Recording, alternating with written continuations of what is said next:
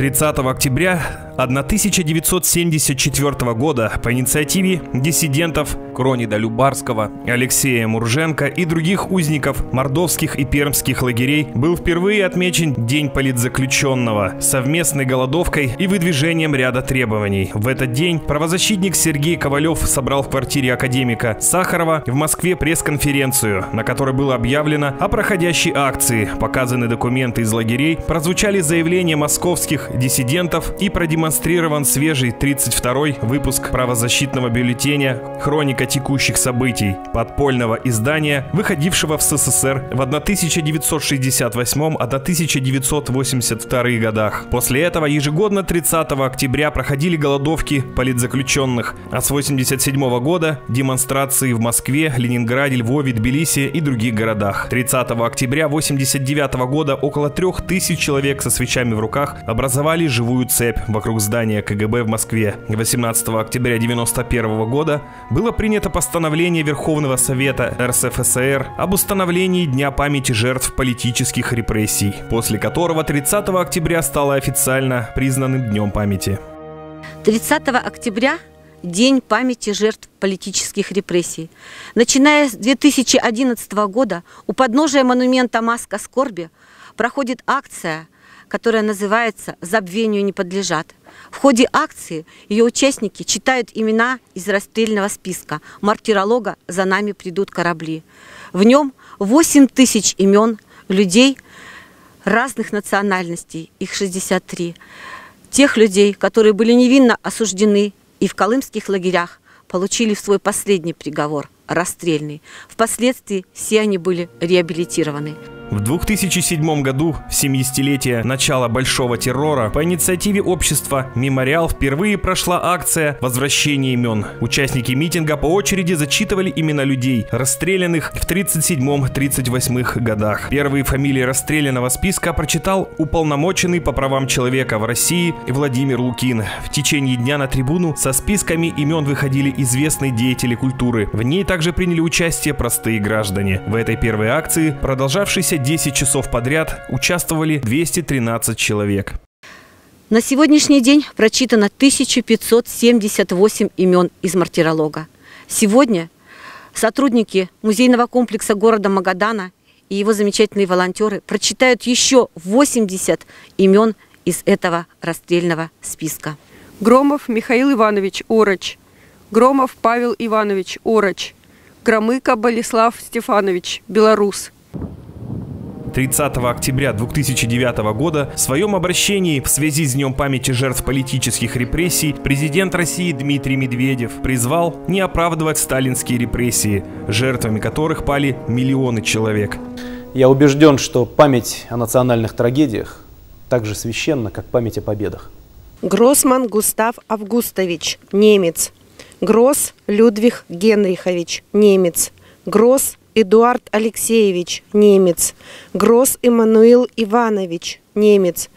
Невозможно представить себе размах террора, от которого пострадали все народы страны.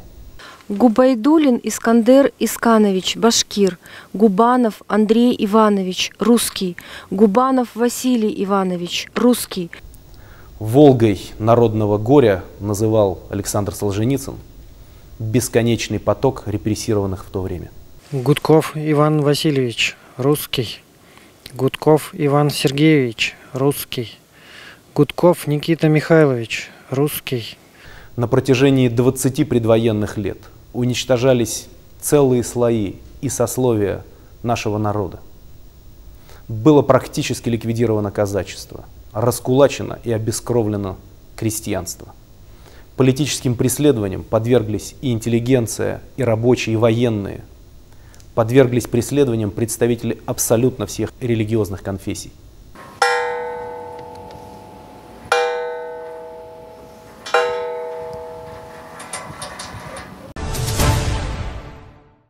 Магаданскими сотрудниками ФСБ возбуждено два уголовных дела в отношении двоих жителей Колымы. Их обвиняют в публичных призывах к осуществлению экстремистской деятельности в сети интернет. В ФСБ России по Магаданской области возбуждены и расследуются уголовные дела в отношении двух жителей Магаданской области по признакам преступления, предусмотренного частью 2 статьи 280 Уголовного кодекса Российской Федерации, разместивших в сети интернет информацию, содержащую призывы к осуществлению экстремистской деятельности.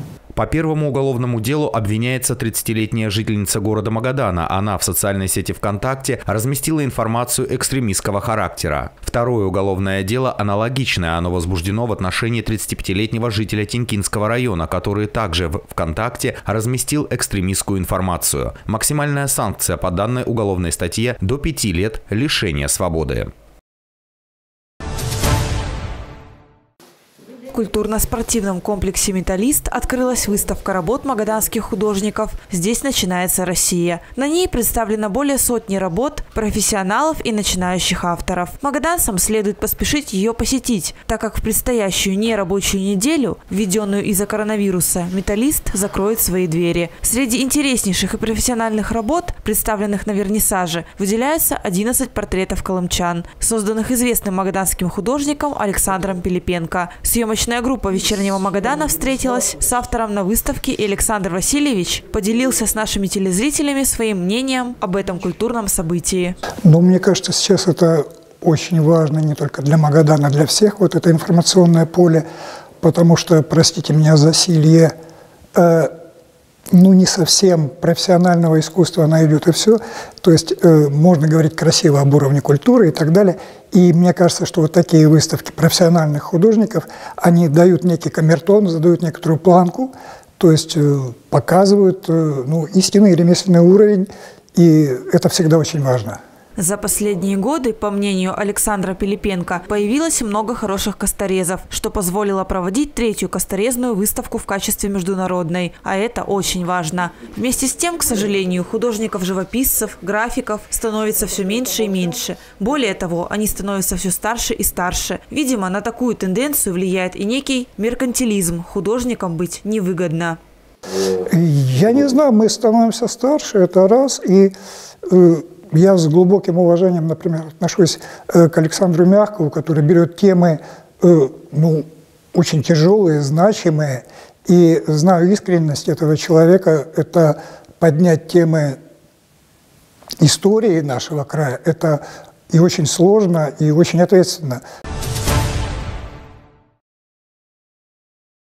Колымчане, которые получают пенсию 4 числа на почте, в ноябре смогут забрать ее раньше, а выплата пенсии в регионе через отделение Почты России ежемесячно производится с 3 по 19 число. Из-за предстоящего Дня народного единства график работы ОПС скорректирован. 3 ноября все отделения работают на час меньше, 4 – нерабочий день, 5 – график такой же, как в субботу. Если дата выплаты пенсии приходится на выходной, то обратиться за получением средств можно накануне. Погода в Магадане очень переменчива. Возможно, вас ждет ураганный ветер.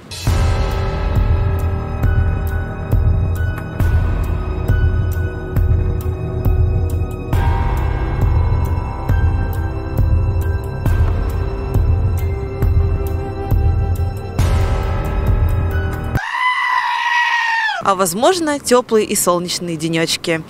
Вечерний Магадан вместе с жителями областного центра решил выяснить, какая погода ждет Магадан в выходные.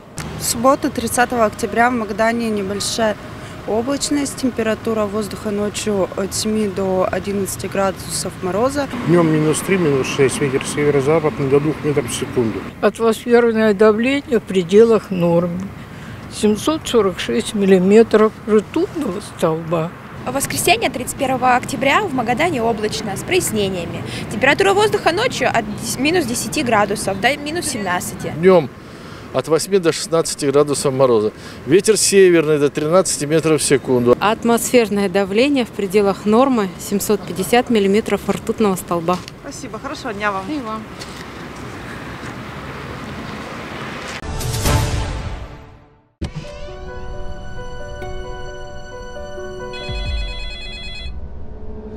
Мам, я Одесса.